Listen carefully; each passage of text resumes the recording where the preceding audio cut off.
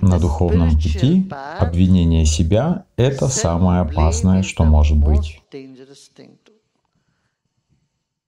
Если вы обвиняете себя, вы никогда не сможете прийти к истинному «Я». Так что первое, что необходимо отбросить, будучи на духовном пути, это что? Нужно перестать обвинять себя и перестать обвинять других.